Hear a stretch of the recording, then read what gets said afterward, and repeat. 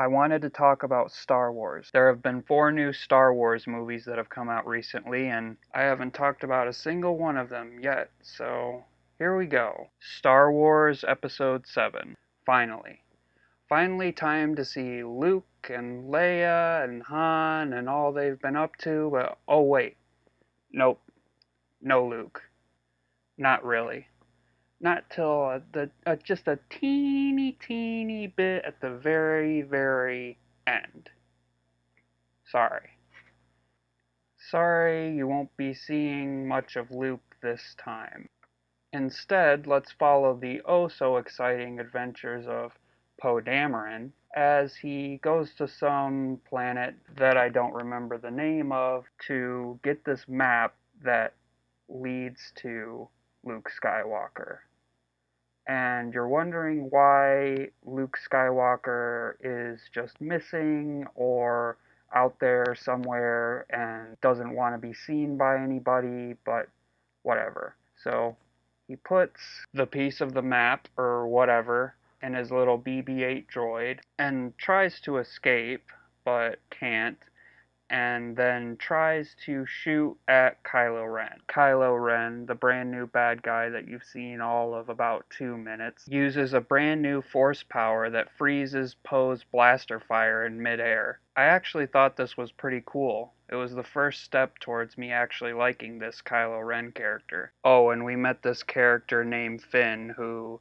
now regrets killing people and is having second thoughts about the First Order great. So yada yada yada, a bunch of stuff happens, and let's switch over to another character who is starting up in this movie. On the planet of Tatooine, I mean Jakku, we meet this lovely young girl named Rey who basically lives in GameStop. She has to junk a bunch of stuff from an old Star Destroyer to make her instant bread she meets up with BB 8, saving him from, I think, some creatures who are gonna sell him or junk him or something. They become the best of friends, and it seems like Rey can understand everything BB 8 is saying. So, switching over yet again, Poe is locked up in this interrogation room or whatever, and Finn decides to break them out so they can steal a TIE fighter and ultimately end up crash landing on Jakku. When they crash, it seems like Poe is dead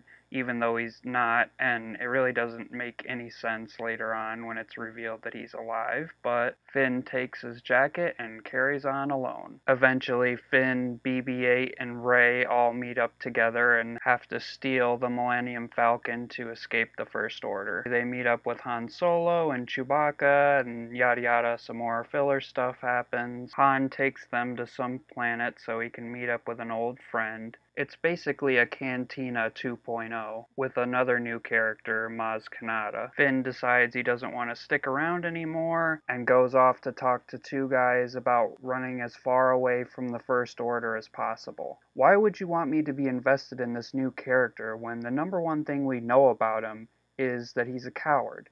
And he runs away from everything. Anyway, somehow Rey wanders off and ends up in this lower level of wherever this is supposed to be and discovers Luke's lightsaber. Then she has this weird, I guess, force vision type thing and gets scared and doesn't want, ever want to touch that lightsaber again, even though she will by the end of this movie. The First Order attacks, and Han and Chewbacca are fighting, and Maz Kanata gives Finn the lightsaber. Meanwhile, Kylo Ren is tracking down Rey. She tries to fight back, but obviously can't for very long and ends up getting captured. Finally, around this time, we get to see Leia and C3PO, although Leia hasn't aged very well. Still, it's nice to see her. Finally, we're nearing the end of this movie, and I didn't really realize it at first, but a lot of things in this movie feel like they've been taken from episode 4. So the First Order has built something called Star Killer Base, which they use to blow up like five planets and wipe out the New Republic. Wow, we really are back to episode 4 again. Not just with the similarities of Star Killer Base to the Death Star, but also in the sense of how much progress the galaxy has made as a whole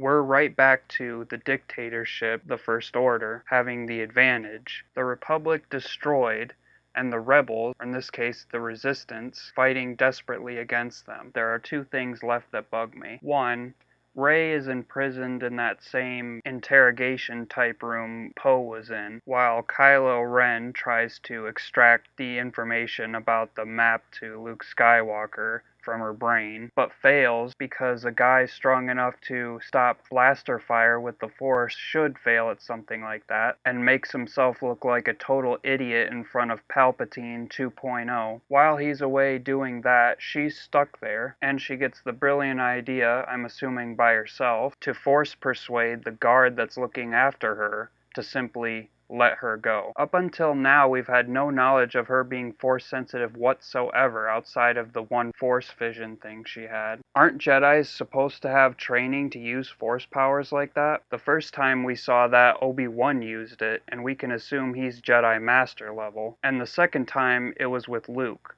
but that was after he had already got training from Obi-Wan and Yoda. But I guess that doesn't matter anymore. Whoever can use whatever ability they want, regardless of training, it does not matter. After that, we get the confrontation between Han Solo and Kylo. Kylo is Han's son. So there's all that drama, and it's a character I don't respect and can't relate to at all, killing off one of the greatest Star Wars characters, and it's just sad it's sad for more than just that Han Solo is gone now. It's sad that they sent him off like that.